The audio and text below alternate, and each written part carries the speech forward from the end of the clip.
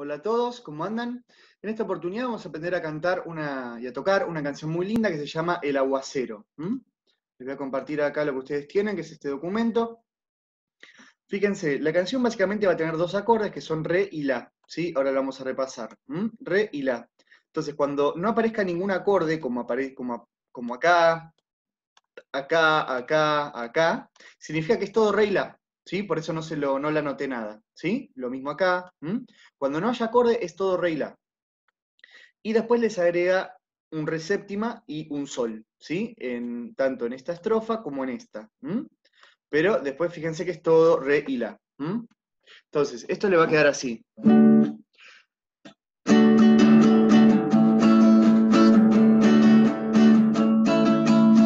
Mueve las patitas que se viene el agua, que te moja todo, hasta la rodilla, se te enfría el cuerpo, tirita el mentón, hasta el pensamiento, se me congeló, se me enfría el cuerpo, tirita el mentón, hasta el pensamiento se me congeló, tengo que correr, me voy a mojar.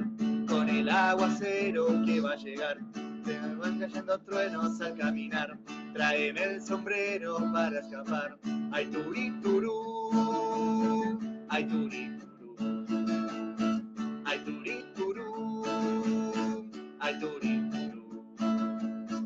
Mueve las patitas, que se vino el agua que te moja todo, hasta las rodillas, la nube bajaron, todo oscureció, el cielo está negro, ya nadie salió, tengo que correr, me voy a soltar por entre los charcos al llegar hasta mi casita para escapar y que el aguacero se queda atrás y que el aguacero se queda atrás y que el aguacero se queda atrás. ¿Sí? Esa sería la canción. Tuve algunos temas así con la letra, pero ahí más o menos va. ¿Sí? Entonces vamos a chequear algunos acordes y ahora vamos a ver un poco cómo, cómo ir tocando. ¿Sí? Entonces, como habrán visto, la canción tiene esto, tiene re y la. Tenemos re, las cuerdas de abajo. Tenemos dos, tres, dos. Y ahí tenemos el re. Y después el la, esto en el segundo, ¿sí? Todo, todo acá. En la cuerda 4, 3 y 2 entonces eh, el acorde de La mayor. Entonces tenemos mucho esto.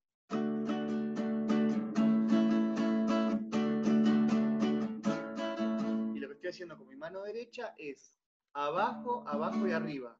Val, carnaval, carnaval, carnaval, carnaval, carnaval, carnaval. Entonces voy haciendo este, val,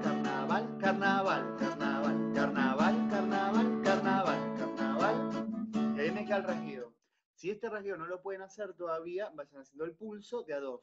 Re, re, la, la, re, re, la, la, y ahí van, a tener la canción igual, ¿sí? Queda, mueve las patitas, mueve las que se viene el agua, ¿sí? Y después la, la, otra parte, la que cambia, tenemos un re séptima, que es así, fíjense, el re era de esta manera. Lo que toca hacer es este sonido que está en esta cuerda, pasarlo acá como no puedo pasar este dedo para allá atrás, tengo que hacer todo un cambio, ¿ven? Hago con dedo 2 acá arriba, dedo 3, y este dedo 1 que lo tengo acá, lo pongo en esta cuerda. ¿sí? Entonces me queda, en lugar de hacer 2, 3, 2, me queda 2, 1, 2. Se te enfría el cuerpo, tengo entonces, y después el sol, 3, 2, y después abajo de todo 3. Y después tirita el mentón, séptima, hasta el pensamiento se me congeló, ¿sí?